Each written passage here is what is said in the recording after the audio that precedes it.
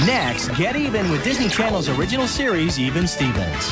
Then hang out with Eric and Cory and the rest of the gang in Boy Meets World.